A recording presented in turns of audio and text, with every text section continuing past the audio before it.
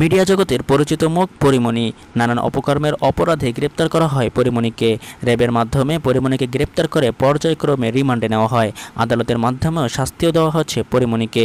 পরিমণি কাণ্ডে জড়িত থাকায় এক ডিপি কর্মকর্তাকে চাকরি থেকে অব্যাহতি দেওয়া হয়েছে। নাম তার সাকলাইন। জানা গেছে, পরিমণি কাণ্ডে তদন্ত করতে গিয়ে এই পরিমণির সাথেই টানা রাত্রি যাপন করেছেন এই ডিবি কর্মকর্তা। অবশেষে তাদের একটি গোপন ভিডিও সোশ্যাল মিডিয়ায় ভাইরাল হয়েছে। সেটি নিয়ে জনমনে একটি তোলপাড় সৃষ্টি হয়েছে। জনগণ এ নিয়ে অনেক প্রশ্নও তুলেছেন। পর্যায়ক্রমে নায়িকা পরিমণি এবং সাকলাইনের গোপন ভিডিওগুলো আস্তে আস্তে উদ্ঘাটন হতে থাকে। অবশেষে আরেকটি ভিডিও উদ্ঘাটিত হয়েছে। সেখানে দেখা গিয়েছে, নায়িকা পরিমণি এবং সাকলাইন একটি বার্থডেতে সেলিব্রেশন করছেন।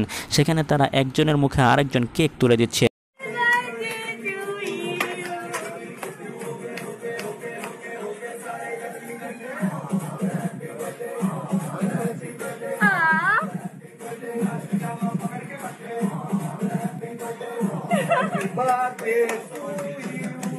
Happy birthday! Mama wish.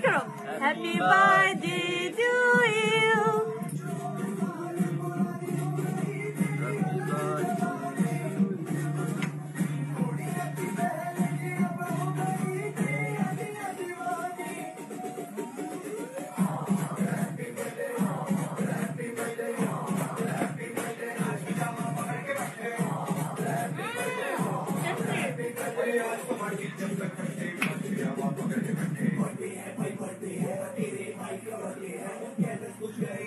अब सब में केक बटे है।